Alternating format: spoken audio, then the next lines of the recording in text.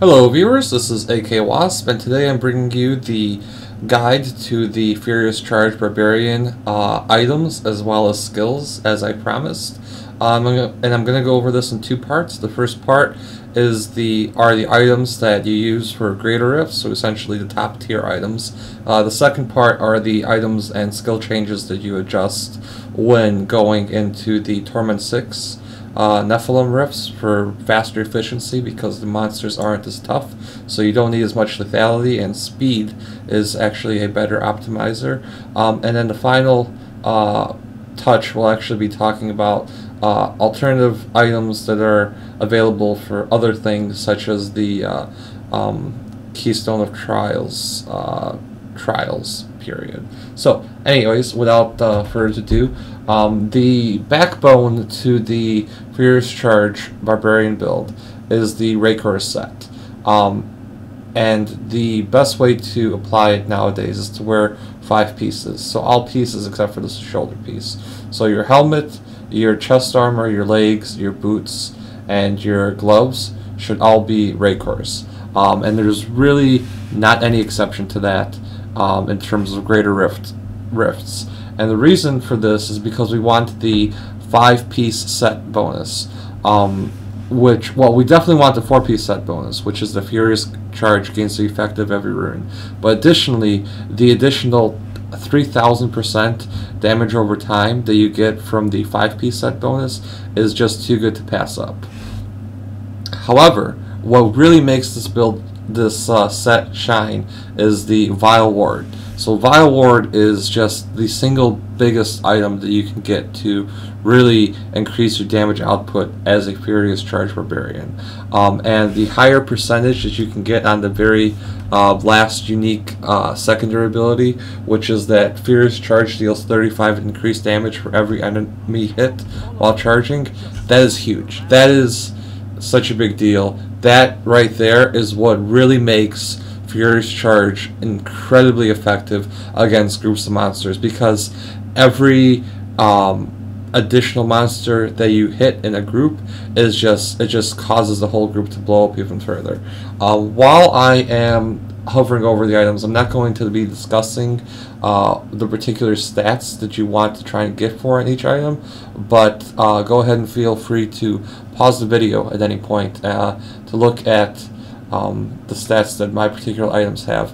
I don't I don't claim to have the best uh, stats on each of the items, although I do have the items that I do want. So um, I'll talk about that briefly. Anyways, so the core of the build is is as has been described. Um, the belt, the best belt in my opinion, is the Pride of Cautious. Ca ca I'm not sure how you pronounce that. Um, but basically, uh, you can uh, the secondary effect is really what you want on it, and that's increasing the duration of ignore pain uh, from anywhere between four to six seconds. This uh, you you want it. You definitely want this belt because ignore pain is fantastic, and additionally, uh, you definitely want it to increase the duration by six seconds. So if you get a four second or a five second roll, you want to keep trying to get a new belt that has six seconds because that's the most important stat on that item. Um, as far as the rings, I like to use a Unity ring, so which um, this particular this particular Unity ring happened to roll pretty nicely, so I'm happy with it. Uh, the big benefit is that when you're playing uh, on a private game, that is not a public game with other players, but privately, uh, as long as you have a Unity ring equipped and so does your follower, um, if the follower is immune from death, which is another item I'll talk about in a second, essentially all damage you take is halved. So all damage you take is split evenly between you and the follower, and the follower is immune to damage. So essentially, you get like double your toughness, if you want to look at it that way, which is really great.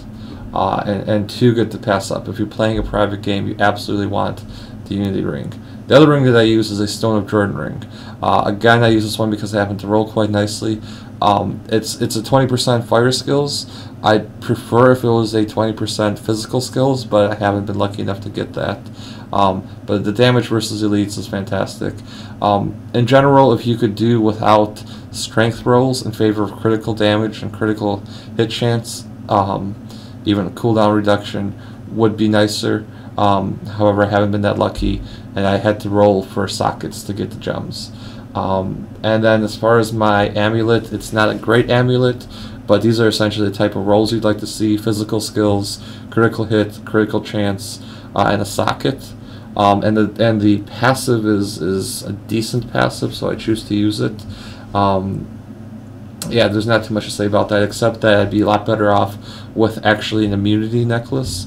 So something that gives fire immunity or lightning immunity would be a lot preferred. But I don't have that, so my necklace is the one piece of gear that I've been actively trying to improve. But they cost so much to gamble for Kadala that it's crazy. But it's what it's the item that I'm currently most eager to uh, upgrade. Um, as far as the show, so, um, bracer slot, um, these ancient Parthan defenders are really good, specifically for their unique ability, which is reducing the uh, damage you take, which is huge. Um, especially because it's per each stunned enemy, and when you're charging into hordes of monsters, there's obviously multiple stunned enemies. So this is just a very, very good survivability item. Um, until the recent patch where they changed the way that the Dreadnought rune works on Furious Charge.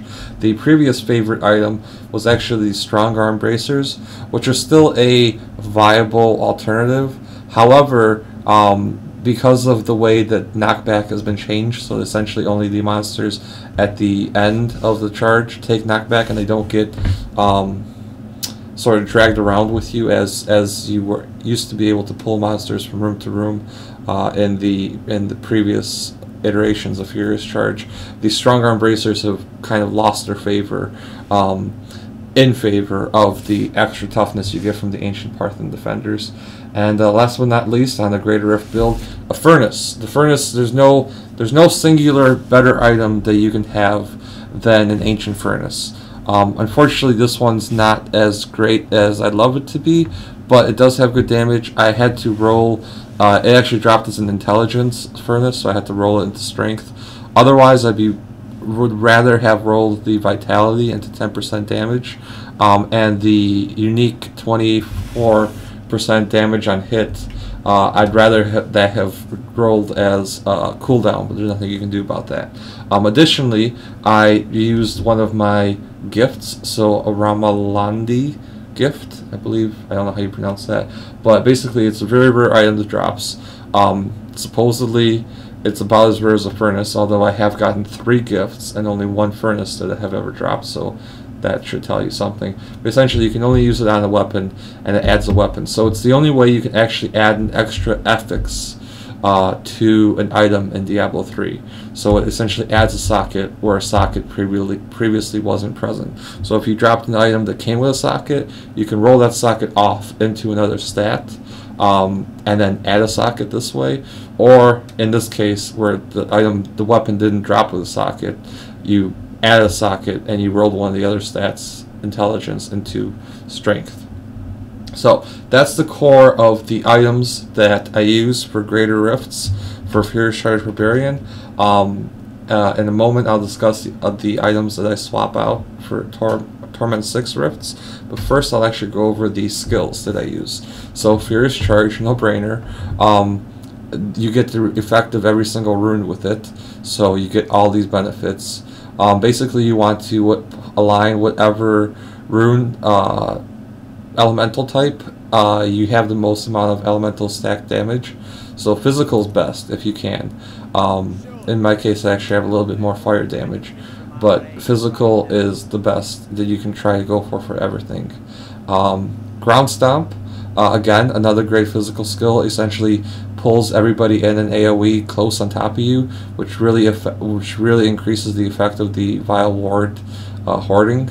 So it's it's a great skill. Um, Again, the physical rune happens to increase the AoE of it, which is even better. Um, so it's just great.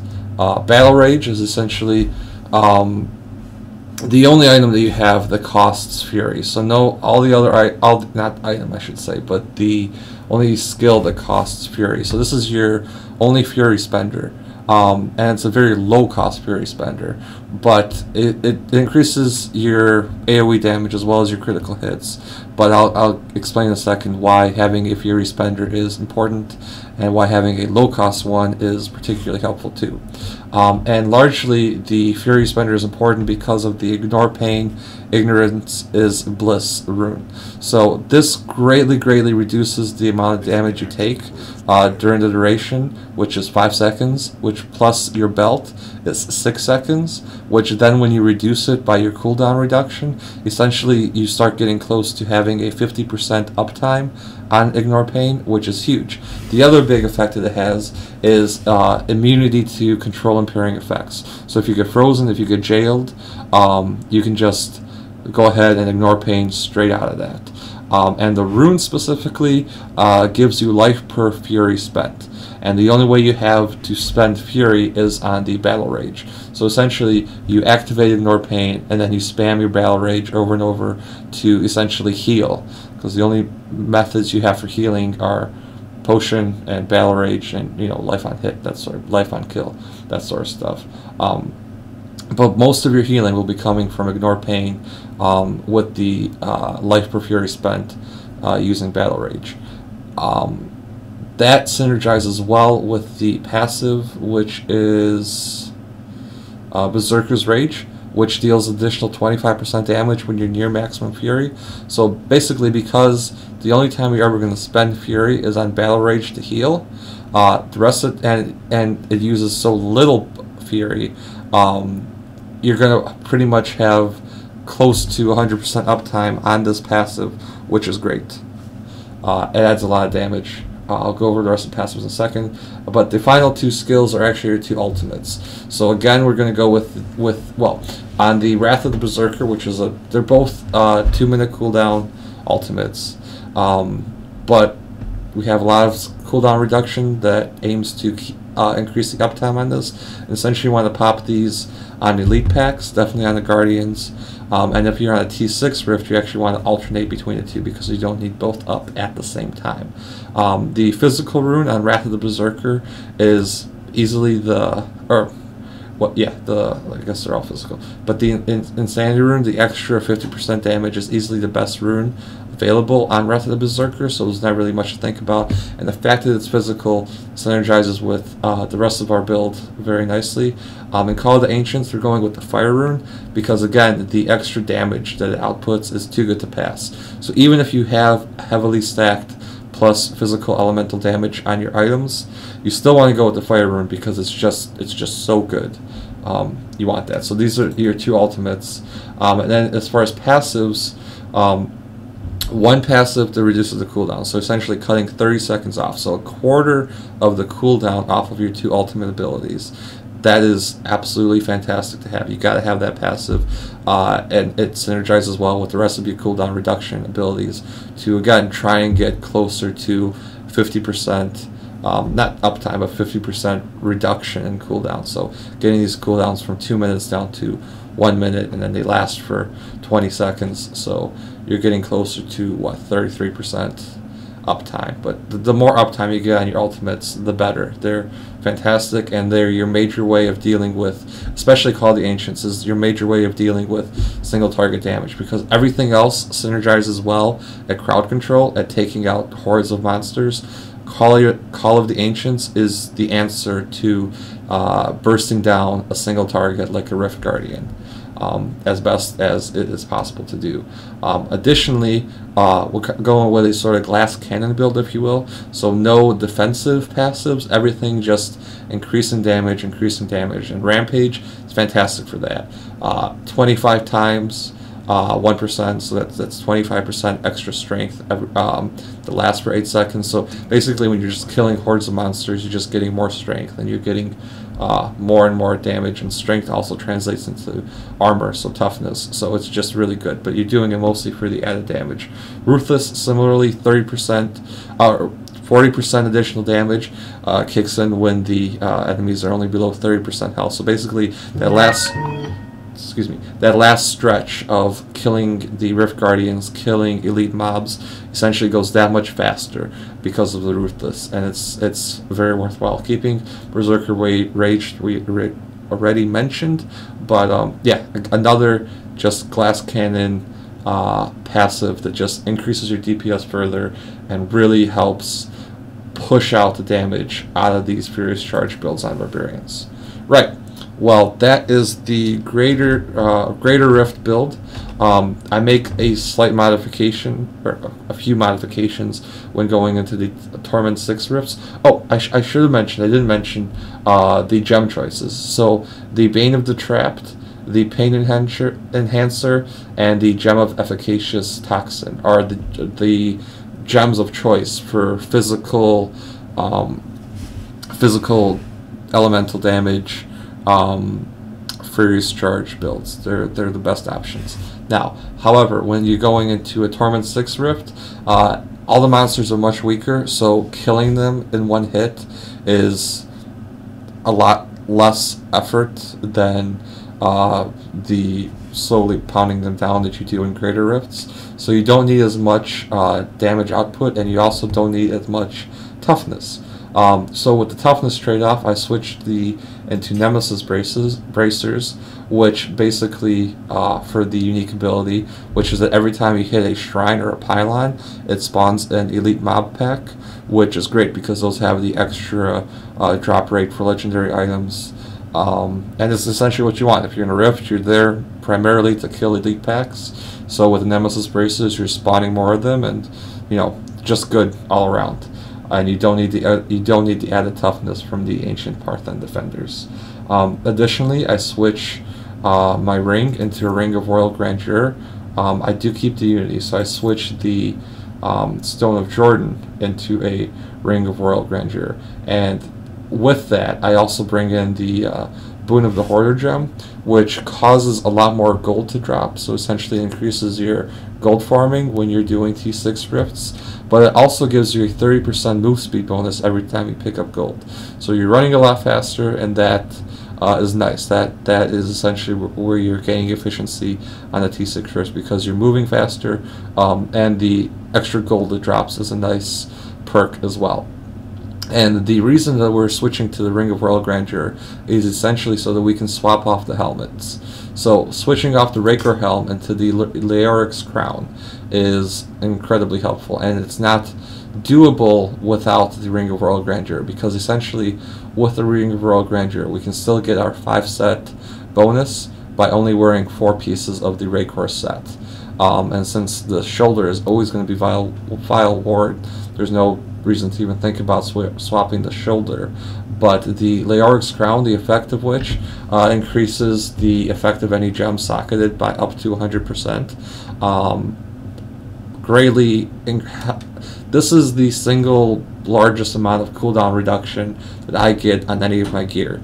Um, so this is great. This boosts uh, the 12.5% to something like 20%, which is really nice. I mean, that's that's right there, uh, more than half of all my total cooldown reduction combined, just from the Leoric's Crown with the diamond gem in it. So it's a really nice item. It took me forever to farm. I remember when this was a season one seasonal barbarian, um, and I just spent so many hours just constantly gambling and gambling and gambling to try and get a Leoric's crown. And I was just so happy when this one finally dropped.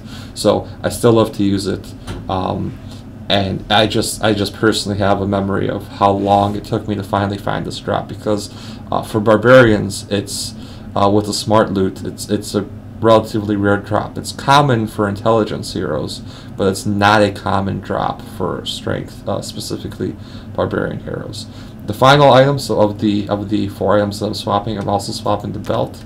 Um, so this is a belt because again we don't need that extra uptime on the ignore pain because it's not a real issue as far as toughness goes.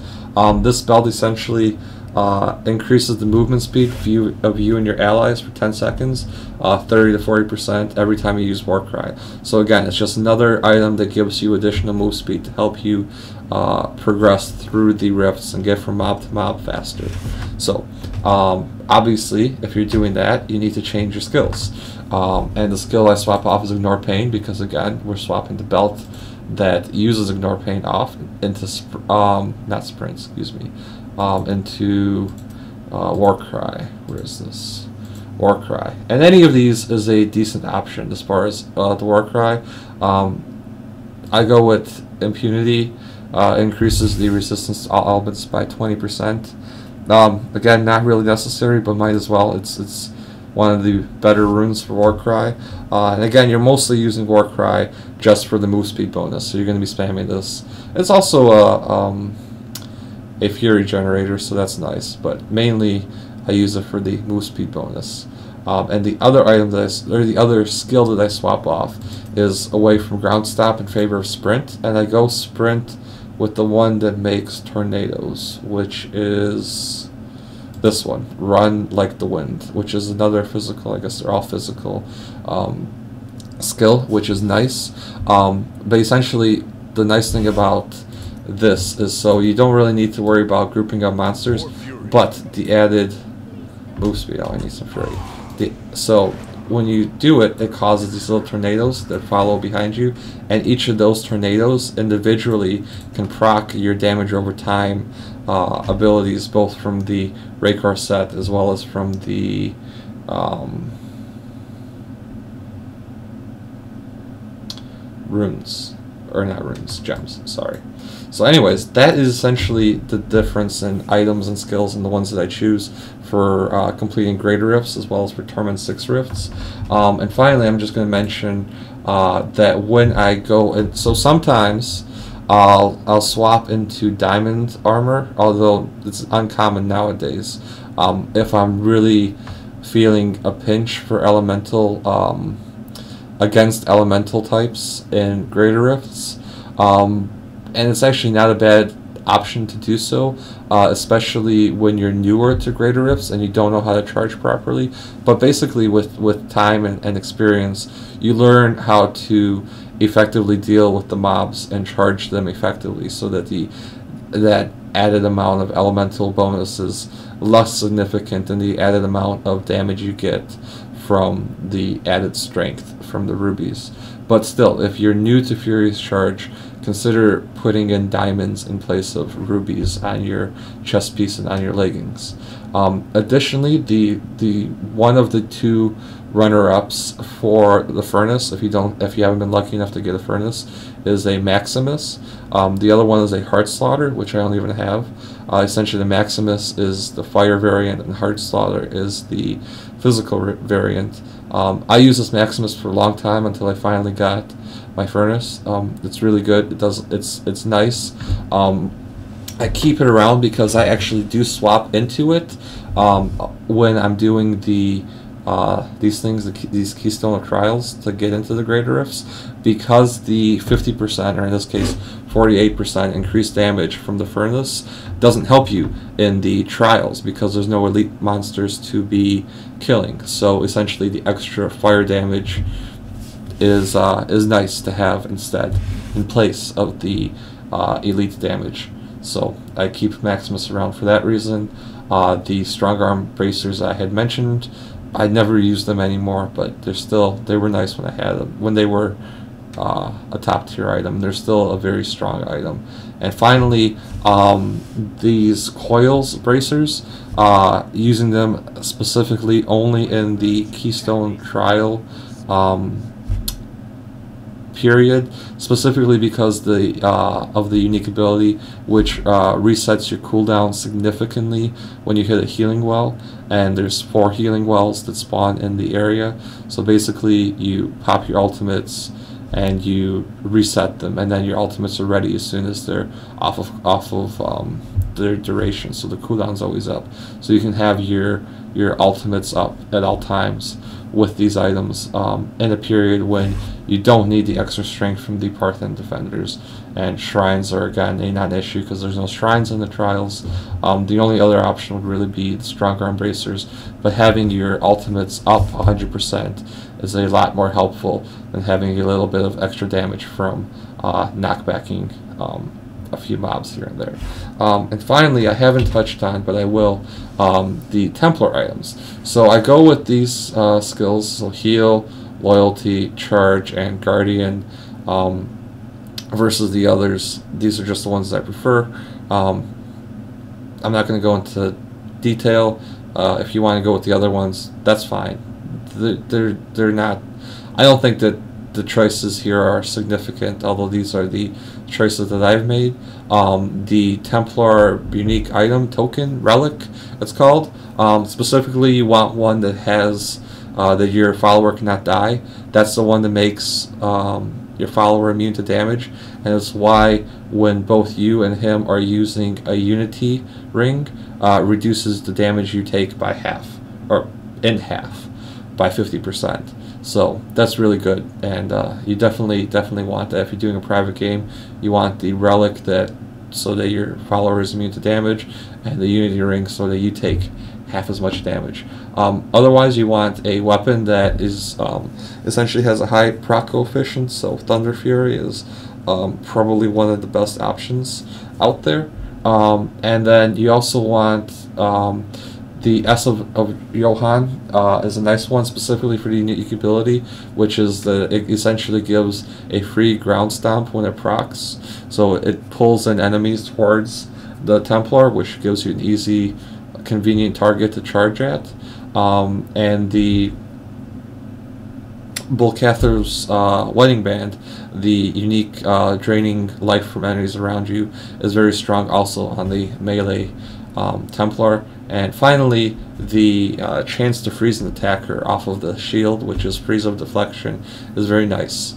Um, although there are definitely other shields that are uh, viable options, this is the one that I personally prefer. And as far as socketing the items, um, followers gain a lot more from every point of strength than heroes do. So rubies are really the best option to go with here um, because every point of strength gives followers a lot more than what we get for every point of strength. So they benefit a lot from those rubies. Um, the only exception is obviously in the weapon because um, Blizzard only wants people to ever put emeralds into weapons because nothing else is viable. And that might change one day, but it hasn't so far. Um, so yeah, if you have a weapon, it's always going to be an emerald. Um, otherwise, that's um, everything that I had in mind to cover as far as items and skills go for a Furious Charge Barbarian. Hope you learned something today, um, and uh, thanks for watching, and yeah, uh, go ahead and check out additional uh, of my videos, um, and have a nice day.